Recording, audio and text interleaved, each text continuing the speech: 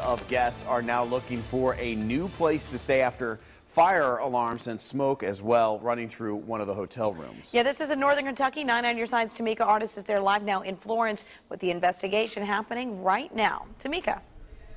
Well, we can tell you things have quieted down quite a bit this morning. If we push in behind me in front of the Courtyard Marriott, you can see that there's actually a fire truck still on scene. But if you push in a little bit closer, we can actually see that there appears to be some people, possibly some guests, milling around in the lobby. It looks like they have been allowed to return.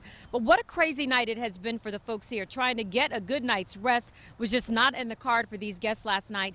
Nine on your side was there minutes after someone called 911 to say that they saw smoke and flames coming from the hotel.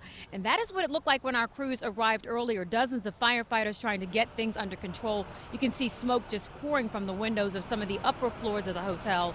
Firefighters managed to successfully contain the fire to the attic. Uh, not their first priority when they got here, though, that was to make sure that everyone was safe. Units arrived on scene. We had heavy fire showing through the roof. Uh, crews got on scene. We were able to successfully evacuate the hotel with no injuries. All right, we're Nine sure how much damage there is right now to the hotel. They're telling us that it was pretty much contained to just the attic at this point, though, and they're looking at mostly water damage. But again, it looks like some guests here have been allowed to return, and the good news is that everyone here made it out safely. That's the very latest. I'm Tamika Artis, not on your side.